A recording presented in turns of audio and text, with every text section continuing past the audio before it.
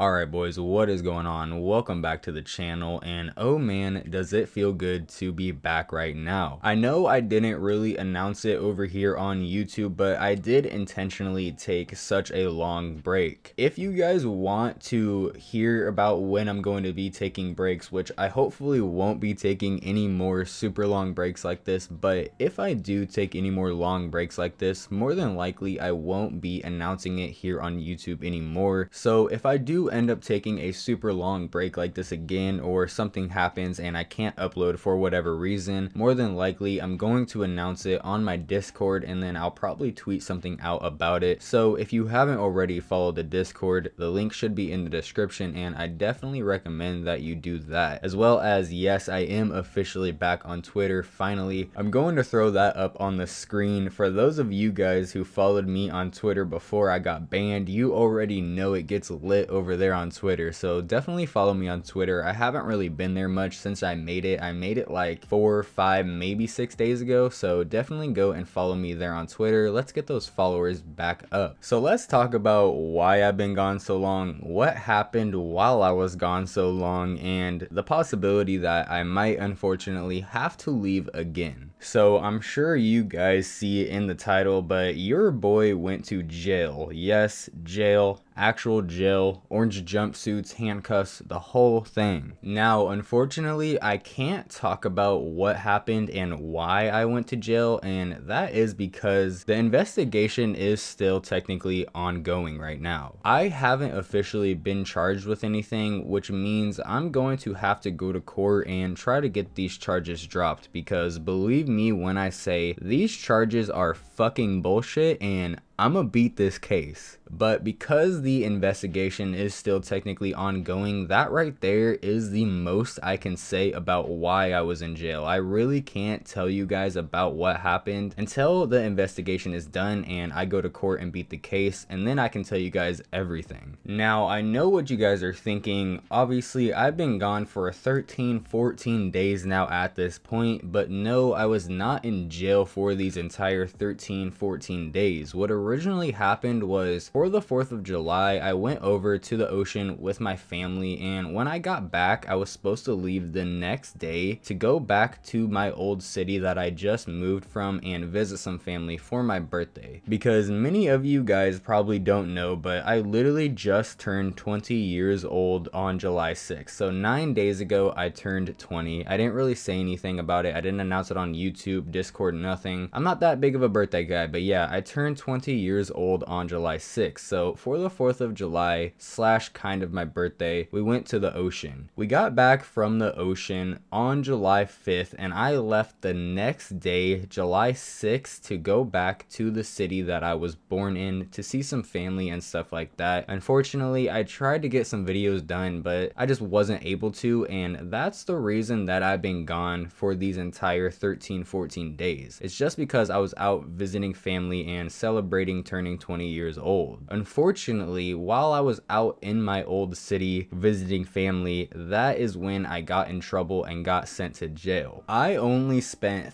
three days in jail, which when you're in there, three days is a lot, but thinking about it now, three days isn't that much. But let me tell you when I say that was a very eventful three days in jail. Many of you guys know that I did get in trouble when I was 17, so I have been locked up before, but that was in juvenile, and let me tell you when I say juvenile is nothing like county jail county jail is a whole new world compared to juvenile. So even though I can't talk to you guys about my charges or why I'm being charged with what I'm being charged with until all this court stuff is done and I beat this case, what I can tell you guys is how my experience in jail was and hopefully that'll help keep some of you guys watching this out of jail because believe me, that shit fucking sucked, man. So I originally got arrested around 5 o'clock in the morning on a Saturday and they kept me in that holding cell for 5 hours. They didn't book me into the jail until about 10 o'clock in the morning on that same Saturday. Now, when they did originally book me, I had to go through the whole thing, you know, get naked, have them search you completely naked, bend over, cough. That shit is so awkward. And when you're an adult, they stare directly at you. When you're a juvenile, they kind of like look at you and look away a little bit because they don't want to see some little boy penis, you know what I mean? But when you're an adult, man, they're just straight staring at your junk, staring at your asshole. You have no fucking privacy in that room, man. So if you don't want another grown man looking at your penis and if you don't want to see other grown men penis, I would recommend staying out of jail because let me tell you, I saw more penis in those three days in jail than I've ever seen in my entire life. So after they did all that, they originally put me in like this yellow jumpsuit and then brought me to this like smaller general population area where there was probably only like 10 of us inmates. And when I first got there, I thought that was all this was gonna be. I was like, wow, this is a piece of cake. There's like 10 of us in here. I had my one bunkmate in my cell. It just felt like exactly what juvie was, but it was grown adults this time. So when I first got there, I thought this was about to be super easy. But then I was probably only in that holding area for like 20, 25, maybe 30 minutes at the absolute most. After those 30 minutes were over, the guards came back into our pod and gave every single one of us, except for one guy, this brown bag. And inside this brown bag was our orange jumpsuit that we needed to change into, our blankets, our sheets, a bowl, a cup, your toothbrush, just a couple of things to obviously survive because what they were about to do was throw me into actual general population. And believe me when I say I was not prepared for where they were about to take me. So as soon as they gave us that bag, we had to change into our orange jumpsuit and go and wait on the table. Once we were all done, they split up our like 10 man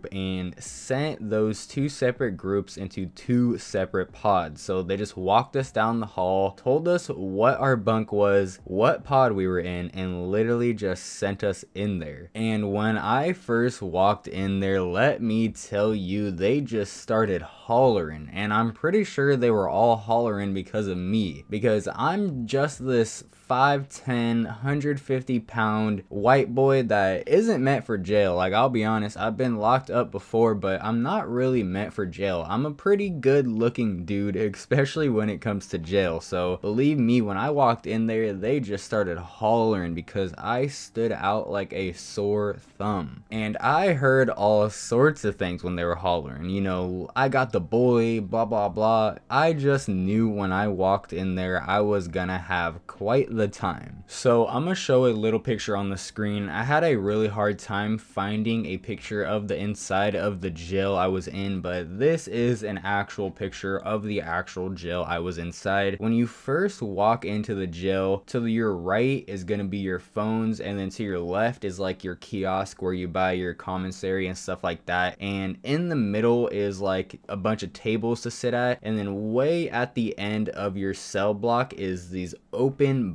so we weren't actually inside of cells. It was just this big, huge open room with bunk beds, showers, and then there was a downstairs and an upstairs. All those tables in the middle with a tiny little TV damn near touching the roof of that place. And that's basically where we were all staying. 50 other dudes in this tiny little pod. So when I first walked in there, of course, you instantly want to go over to your bunk and get settled in because you have no idea how long you're going to be there. So that's exactly what I did. I went and I started looking for my bunk. And this little like 5'7", 5'8", short dude with mutton chops, bro literally looked like fucking Wolverine. Let me put a picture up on the screen. This is almost picture for picture what this fucking dude looked like. I wish I could make this shit up. He had the hair slicked back just like this with the mutton chop sideburns. I've never fucking seen someone like that in real life with my own eyes. This was the very first time, but as I was looking for my bunk, Mutton Chops came up next to me and said, my name is blah blah blah. I honestly don't remember his name.